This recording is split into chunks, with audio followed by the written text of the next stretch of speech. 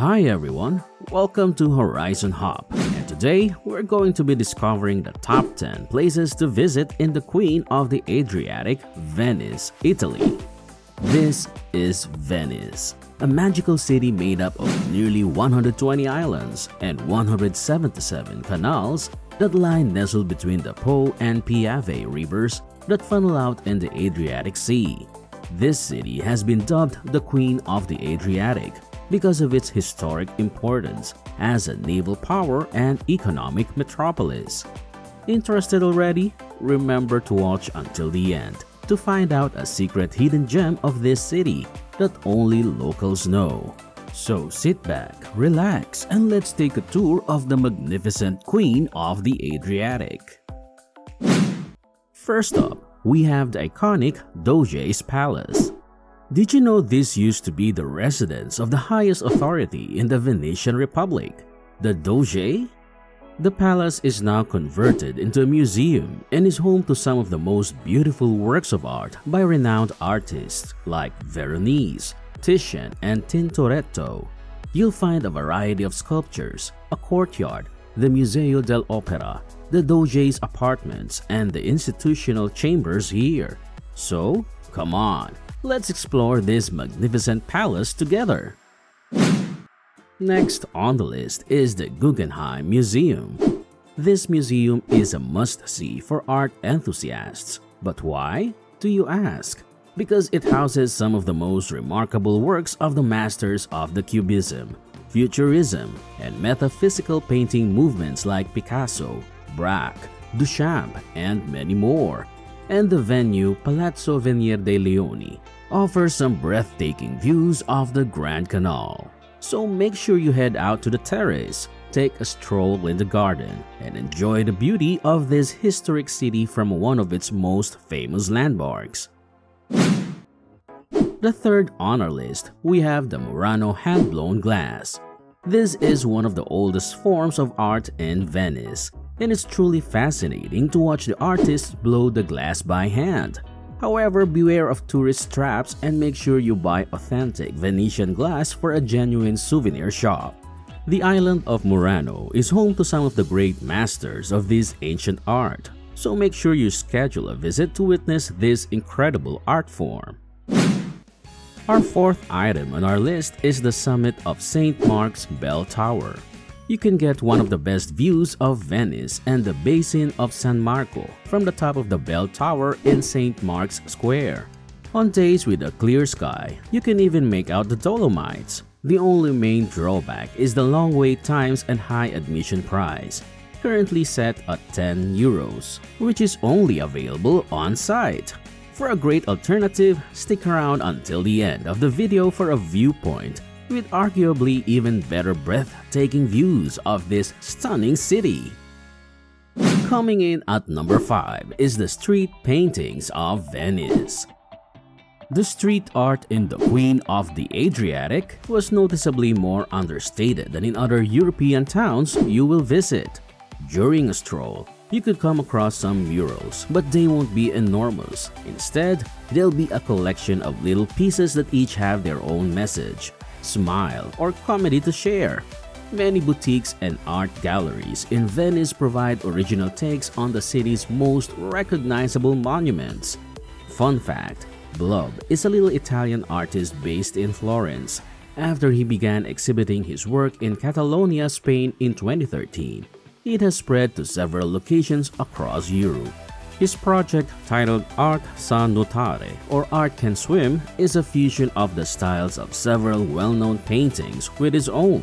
He sees his art as a symbolic of the difficulties of living and an example of how creativity can flourish despite adversity.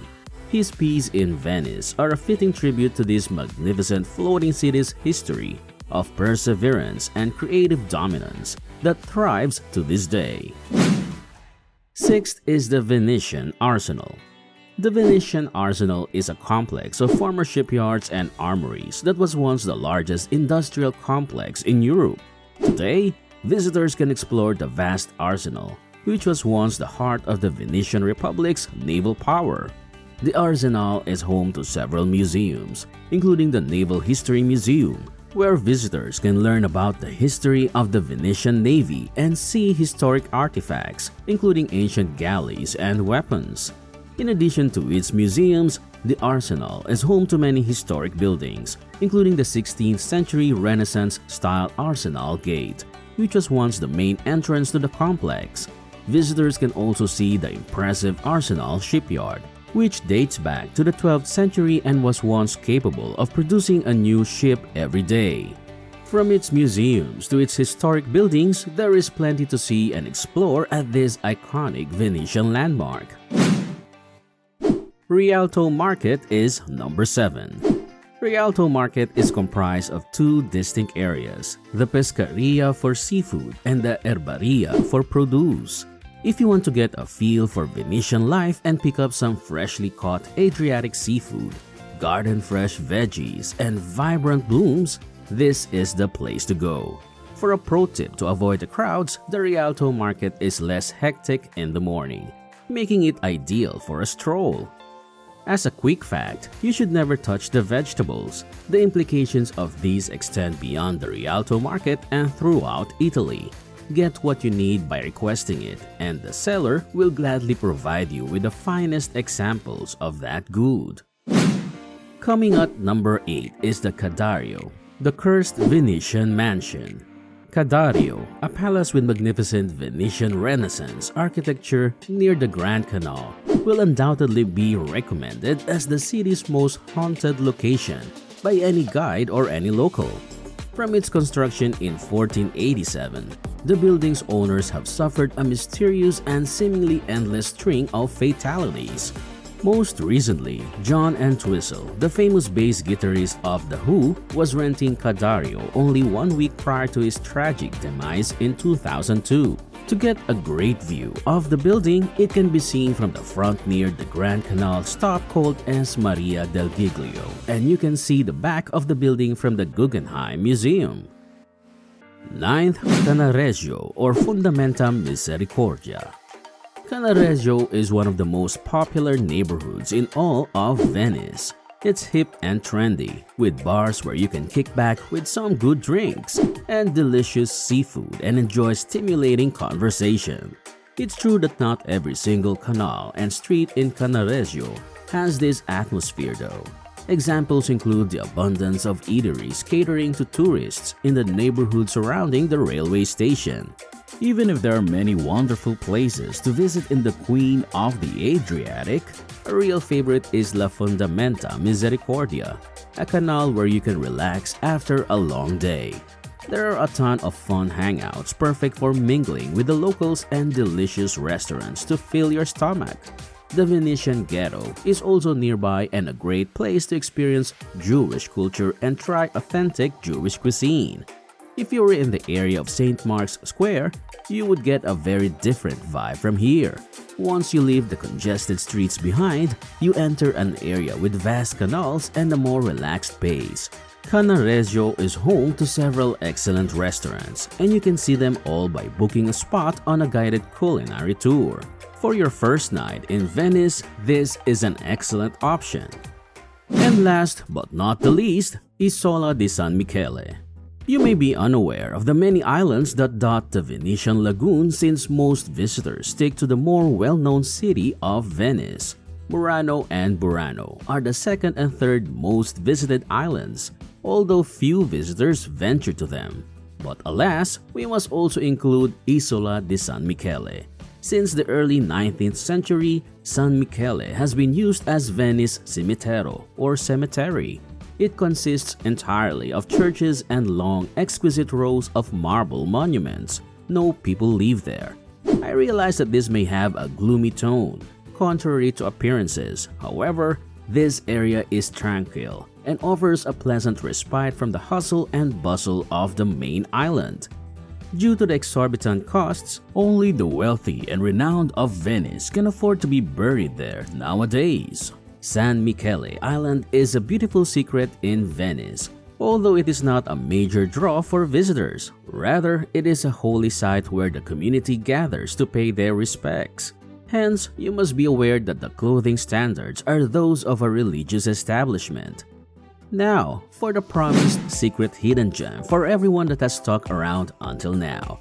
Not only does this city have breathtaking canals, stunning architecture, and delicious food, but it also has some of the most picturesque viewpoints in all of Italy.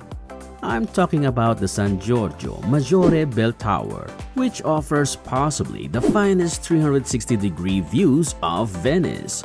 To get to this magnificent viewpoint, take a Vaporetto, which is a Venetian public water taxi, to the island of San Giorgio Maggiore. Once there, proceed to the front left side of the church's interior, where you will discover an elegant glass elevator that will take you straight up to this gorgeous vista of Venice. From there, you'll have your breath taken away as you see the Queen of the Adriatic in all of her spectacular glory and have an incredible opportunity to bring back some of the best possible photos of the city. So, if you want to experience one of the best offbeat places in Venice, then make sure to add the San Giorgio Maggiore Bell Tower to your itinerary. Trust me, you won't regret it. We hope you enjoyed the video, but now that it's over, what did you think? What place on our list of the top places to visit in the Queen of the Adriatic is your top choice? Leave your comments down below. And don't forget to hit that like button. Also, click subscribe and turn on post notifications if you enjoy the video and want to see more from us in the future. Thank you for taking the time to watch our top 10 places to visit in the Queen of the Adriatic video. And we hope you have a wonderful trip to beautiful Venice.